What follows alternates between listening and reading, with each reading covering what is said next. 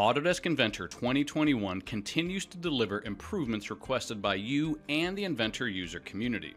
Through the Inventor Ideas and the Inventor Beta program, you provide your feedback to help improve Inventor, and we've listened. Here are some customer driven improvements for the part environment in Inventor 2021. Window selection has been added, providing support for selecting multiple bodies or multiple faces. Using a familiar left to right window to select all objects inside the window, or right to left to select all the objects that are inside or crossing the window's boundary. In the model browser, extended information now applies to work features. The unwrap command allows for flat patterning of components outside of the sheet metal environment. Improved in 2021, the unwrap command now allows for multiple planar holes to be held rigid and has a new option for aligning the unwrapped surface.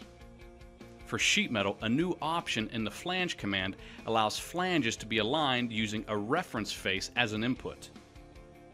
To help you create a full 3D model-based definition, support has been added to 3D annotations to allow the referencing of custom iProperties into leader notes and general annotation. To complete the round trip of product model information, support has been added for both import and export of files containing 3D annotations into the JT standard. Thank you for your continued feedback and encouragement as we work to make Inventor better for you. Check out these customer driven improvements and more in Inventor 2021.